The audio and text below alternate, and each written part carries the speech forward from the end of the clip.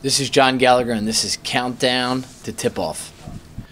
Well, obviously, Bill, it's a Bill Herrion coach team. Anytime that you're going to face a team that plays extremely hard, great defensive team. Uh, they're shooting the ball from three as a great, great as of late, uh, with a big win at Stony Brook. Um, they're they have Chris Pelcher, who's their 6'10 big-eyed back, uh, and anytime he's in the lineup, they're a different team. So we'll have our hands full tonight.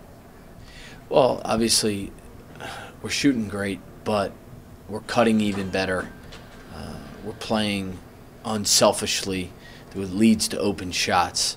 It's not like we're just focusing on shooting the three. We want to get the ball inside out first, and we're having success with the extra pass. You know, necessity is the birth of a lot of invention. Somebody said that it was famous. So um, we were sort of forced into it.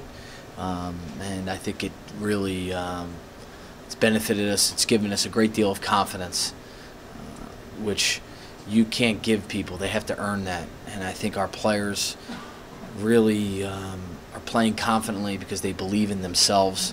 They worked extremely hard, so uh, it's a benefit. Well, our versatility. We're really versatile on the defensive side of the ball now. Uh, we can switch. There are certain things.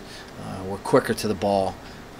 So, you know, not saying that we played small the whole game because we haven't, but uh, it, it just gives us a, a, different dimension. Well, I think momentum is such a key thing, but um, every game is separate. Every game, every play is sort of separate in their own entity, and you just have to play that possession out. And all we're focused on is the first possession of this game tonight. Uh, I know that sounds such like coach cliche talk, but it really is true. It's just what is the next possession for us?